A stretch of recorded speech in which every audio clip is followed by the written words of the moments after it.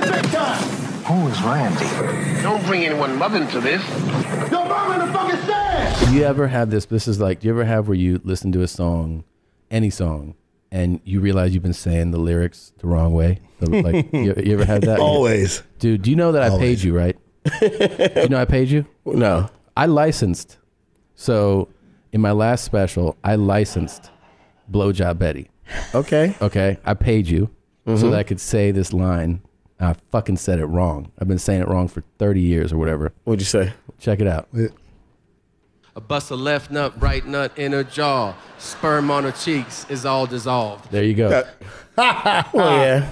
That's all she I said, that wrong. I said it wrong for fucking since it came out. Oh, That's cool. It's, I was, I was so hey, short, embarrassed. give him his money back. It makes sense, though. yeah, thanks, Kev. Can I get my money back? It makes sense. Still, It is right. It does kind of make sense.